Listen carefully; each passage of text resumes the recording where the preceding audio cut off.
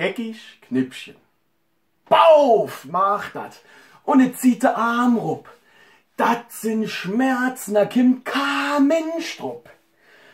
Ich schreibe mal de Ellenbogen und frage mich dann aber, warum geht es nur an der Ahnerstelle so ein Balava?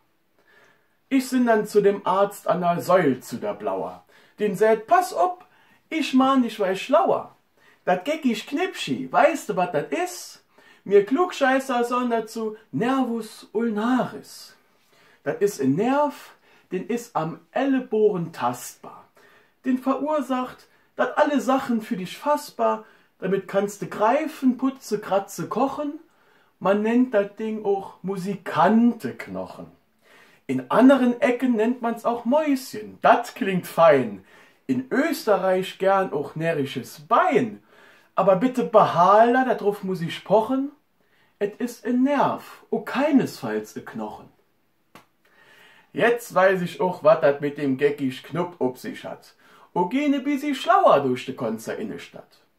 Jedes Mal, wenn ich lauf, spring oder werf, denk ich dran, dat geckisch Knipschi is ein Nerv.